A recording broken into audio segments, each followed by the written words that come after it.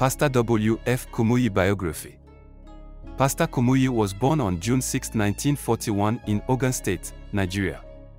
He completed his secondary school education in 1961 at Mayflower School in Ikenne, and from there he proceeded to the University of Ibadan where he graduated with a first-class honors degree in mathematics and he was also the overall best graduating student of the year.